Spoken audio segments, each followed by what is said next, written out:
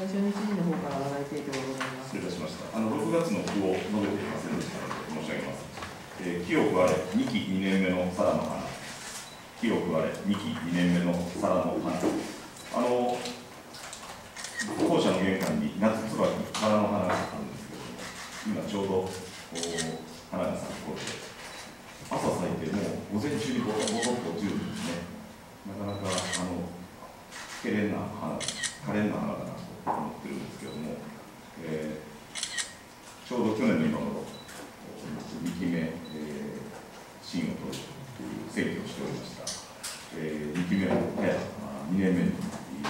入ってきておりますので、あのしっかりと火を正しく、えー、頑張っていきたいというふうに思っております。またあの昨日はあ琵琶湖ビジターズビューローの会長に選任をされました。えーこれまで民間の皆さんが担ってきてくださった仕事を知事としてえーお受けすることとしたところでございます。えー責任重大です。ただ、あ天の時、今、あ観光が盛り上がっている、さまざまなあ注目をお浴びるきっかけがある、さらには大きなスポーツイベント等もおある、また滋賀もある、そして、それらに人の輪を重ねることによって、こういった天の時をしっかりと生かしていきたい。え一期二年、えー皆様方のお役に立てるように頑張ってまいりたいと思います。また、本日午後にはですね、大阪に参りまして、え関西広域連合の、え琵琶湖淀川流域海ごみ抑制プラットフォームの立ち上げを宣言する場に臨ませていただきます。先般5月の23日に関西広域連合が関西プラスチックごみゼロ宣言を発出いたしました。滋賀県は関西広域連合の広域環境保全の担当をしております。したがって、この関西プラスチックごみゼロ宣言を発出することの主導的な役割を果たさせていただきました。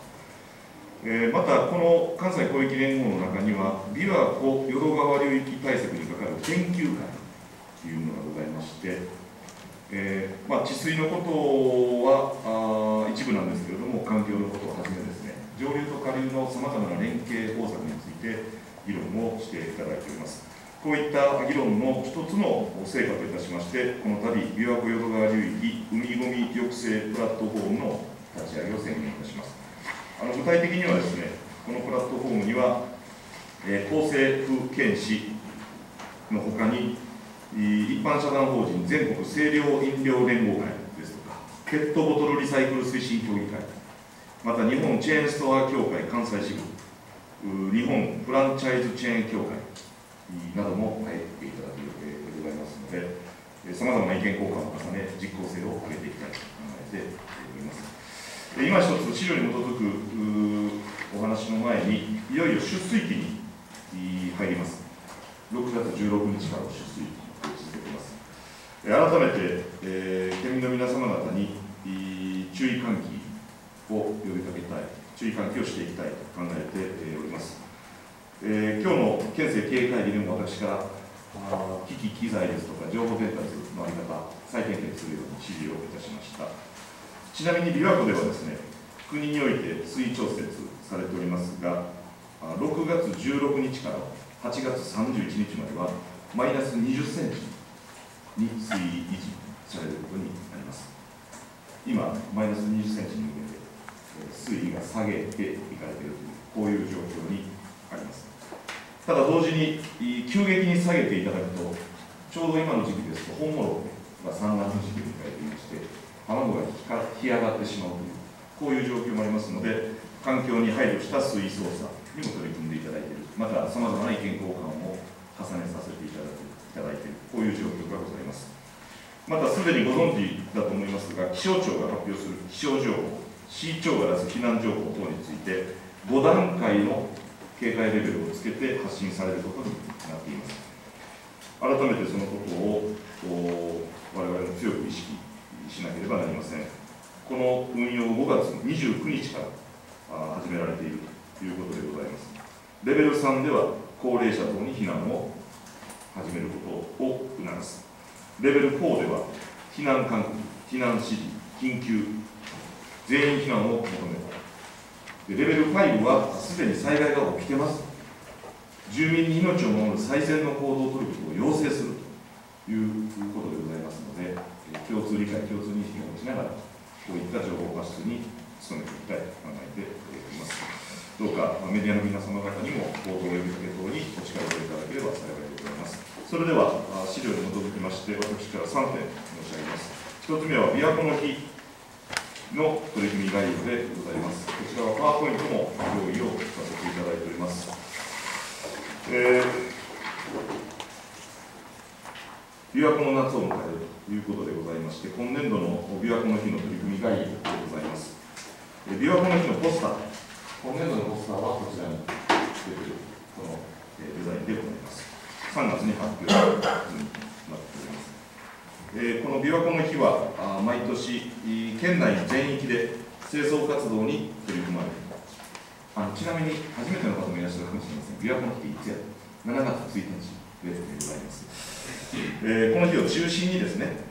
さまざまな活動に取り組んでいただいております。今年度のポイントといたしまして、4つご紹介いたします。1つは、森川里海を学び行動へということでございまして、えーこの夏、琵琶活ガイドブックを制作いたします。え自然体験などの琵琶活に取り組んだり、森川里海のつながりですとか、琵琶湖の日の意義について学んでいただくためのものでございます。6月末に県内の全小学生に配布いたします。え冊子が出来上がり次第皆様にお届けしたいと思います。また6月30日にビバシティ彦根でビワ活のキックオフイベントを行います。森と海のつながりを知る体験ブースなど子どもにも楽しく学んでいただける企画を準備しているということでございます。えー、2つ目は京阪神地域との連携ということでございまして、えー今年京都市の琵琶湖疎水記念館が開館30周年を迎えられるということでございます。これに合わせて立命館大学での連続講座に記念館の学芸員さんを講師に招いて開催をいたします。記念館でも琵琶湖の日の特別展示が開催されるということでございます。また9月には京都で琵琶湖の価値発信イベントを開催いたします。3つ目は、琵琶湖と共生する農林水産業が日本農業遺産に認定されたことを踏まえまして、県内外で開催する琵琶湖の日関連講座ですとか、イベントの機会に日本農業遺産の PR を含めた琵琶湖発信を展開いたします。4つ目、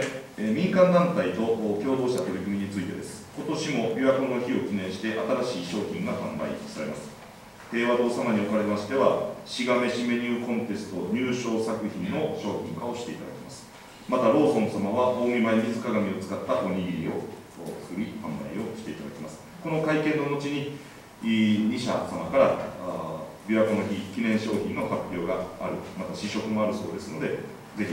取材と賜れればと思います。また、セブンイレブンジャパン様では、みんなの琵琶活宣言を募集されます。日本ボーイスカウト滋賀連盟様では、創立70年を記念して、県内全域で自然体験活動を展開されるということでございます。琵琶湖の日をきっかけに、多くの人に魅力いっぱいの琵琶湖に関わっていただければと思います。えーちなみにあ次は2つ目ですね。底滋賀プロジェクト指導ということでございます。えー東京には底滋賀があるんですが、京都に底滋賀を作ろうというものでございます。えー隣接する京都、こちらには外国人延べ宿泊者数が21倍、700万人を超えているということでございます。滋賀県は34万人にとどまっている。まあ、もちろん京都は京都の魅力があるんですが、すぐそこの近くに、京都にはない、美しい滋賀がある、面白い滋賀があるということをぜひご紹介したいと考えています。えー京都まで来ている観光客に対してですね、すぐそこにある滋賀県の奥深い魅力を発信し、誘客を進める取り組みとして、そこ滋賀プロジェクトを実施することといたしました。これは県議会で、県民の皆様方のお声を代表する形で、えーご提案いただいたことをもとに設置させていただくものです。京都駅前で滋賀県の積極的な観光案内を行うほか、ホテルコンシェルジュ等への研修を行い、本県への周遊を促す取り組みでございます。あさって13日木曜日にオープニングイベントを実施いたします。えーポスターや観光パンフレットを配下設置するだけではなくて、宿泊施設や旅行商品の手配も行っており、落ち着いてゆったり観光案内をすることが特徴でございます。えーちなみに、忍者のお衣装でご案内をいただくということがそうでございます。ぜひ皆様方にもお立ち寄りいただければと思います。それでは、あ一押し健康志賀シリーズということで、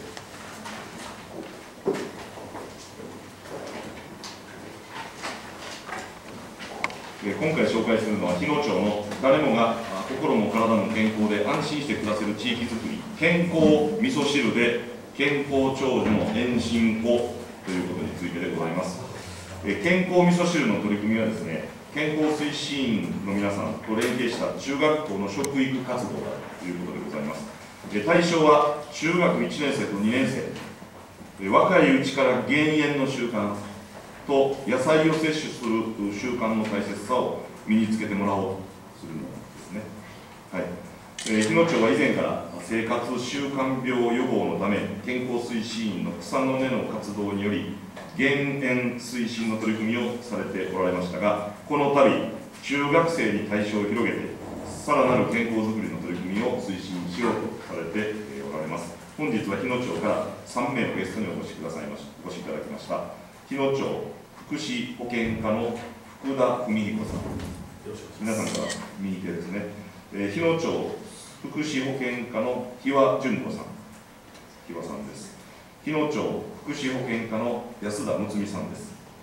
せっかくの機会ですので PR や補足説明をどうぞ。皆さんこんにちは。こんは。日野町です、えっと、取り組みのきっかけとしましては中学校給食で提供する味噌汁が薄いという理由で残す生徒がいらっしゃいましたので健康推進さんによる健康味噌汁の授業をしてもらいたいというふうに中学校から依頼がありました。そこでスクール応援隊という部会を立ち上げまして食育に携わっていただくことになりました。保健センターからはなぜ健康味噌汁が良いのかなどを説明し普段の食生活が将来の生活習慣につながることを意識してもらい望ましい生活習慣の実践を目指し学校健康推進員保健センターが連携して食育活動を進めています。平成27年度から実施し今年度で5年目となる授業になります。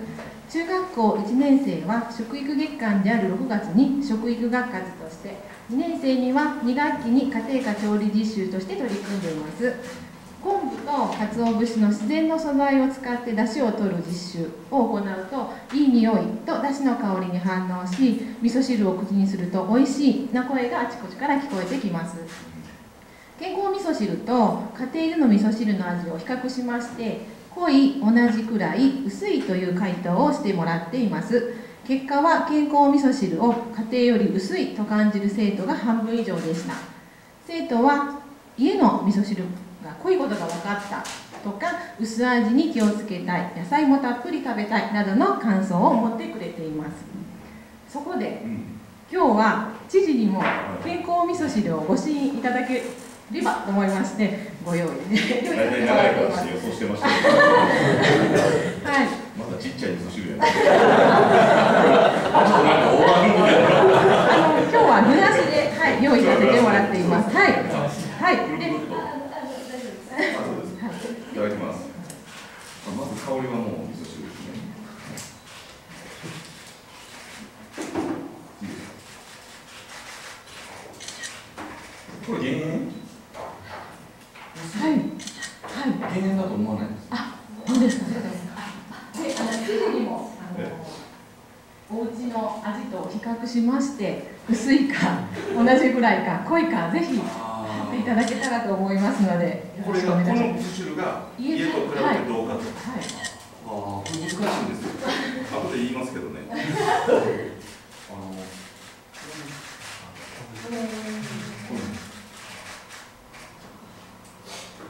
ちょっと違うんですうちの味噌汁はかあの濃いめ辛めなんですけどうんだからそれに比べると薄いんですけどはい。でもね味がねこれだしやろ出汁取ってくれてはるのがすごい濃厚であんまり薄さを感じない、っ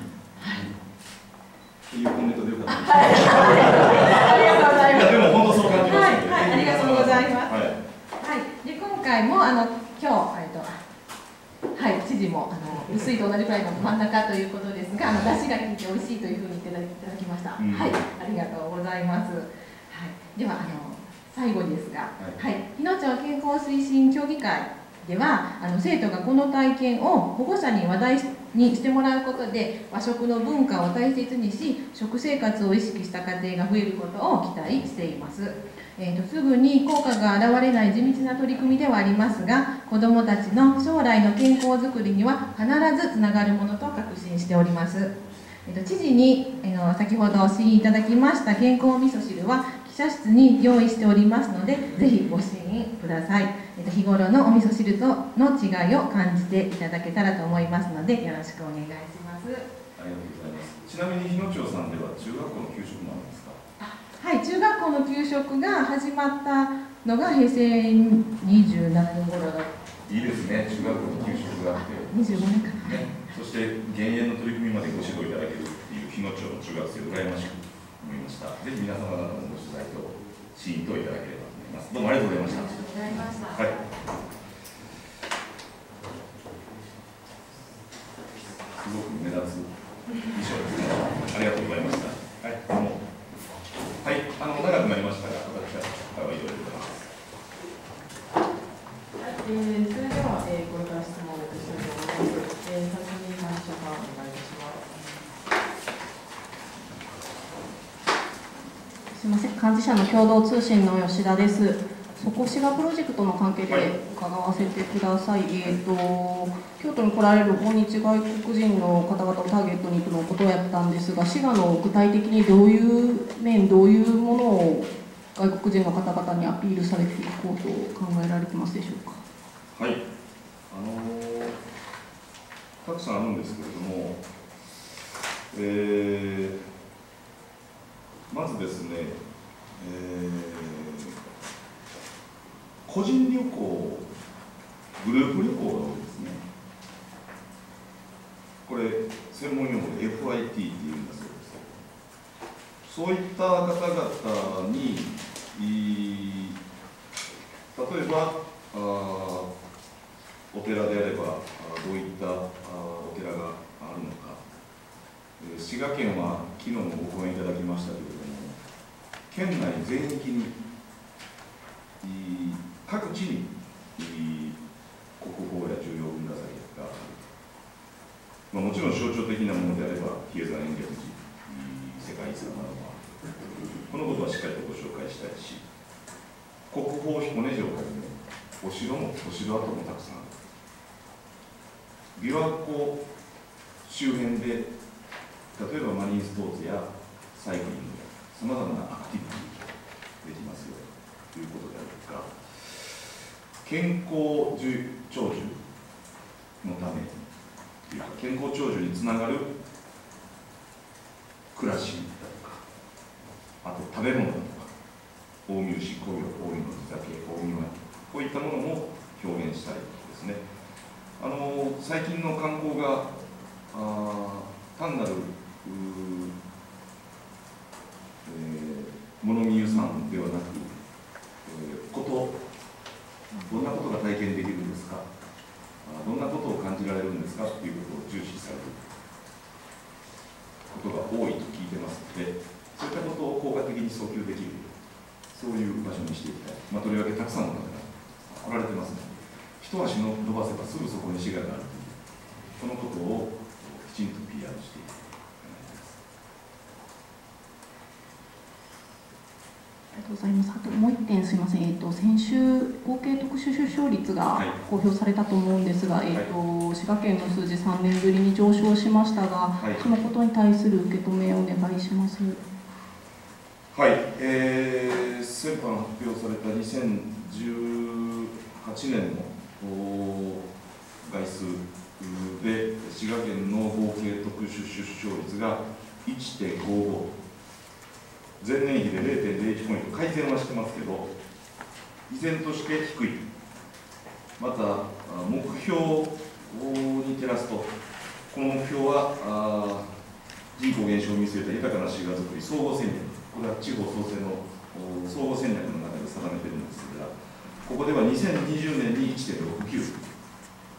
2040年に1.94、2050年に2.07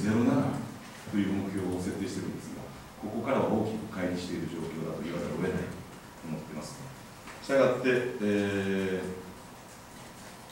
この総合戦略についても現在、どれぐらいの進捗なのか、どのようなあ目標に近づいているのか、近づいていないのかというのを、この出生率含め、今、検証しているところですので、えー子供を産みたい、育てたいという人たちが、その希望が叶えられるように、障壁となっているものを取り除く、社会的に応援していく、こういった取り組み、こういったことを進めるために、もっとどんなことをやらなければいけないのかということを具体的に検討していきたい、また実行していきたいと思います。えーその他ご質問ございますでしょうか。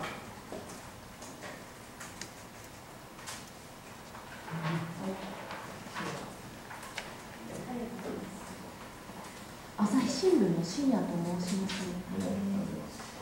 えーちょっと2点ありまして、はい底しがについてもう少しお尋ねしたいんですが、そ底しが？少しが底しが失礼いたしました。はい。先ほどあの京野さんがご説明をお答えくださっていたんですけれども、そこにあのただスタッフの方は忍者姿でっていう忍者の姿をお答えしてくれるというご説明が最初あったかと思うんですけれども、はいそうするとやはり忍者の里甲賀さんへのこう誘致とかもメインで考えてらっしゃるあのメインと言われると、ちょっとこう表現ずれるかもしれません。が、とても強いメッセージ性を持ったコンテンツだと思うので、忍者は。はい、ですからあ、そこできちん。とこうアイキャッチをして、はい、そして、えーどこ、滋賀、何がある、どこに行ける、ちなみに忍者に興味があればこういう説があるというようなこうご案内に結びつけていけたらいいなと思います。ありがとうございます。もう一点なんですけれども、あの昨日県立病院総合病院さんからさんからの発表があったとは思うんですが、はいまああのその県立総合病院さんに限らずかなり医師不足というような状況があるかと思うんです。それに関してあの知事の今の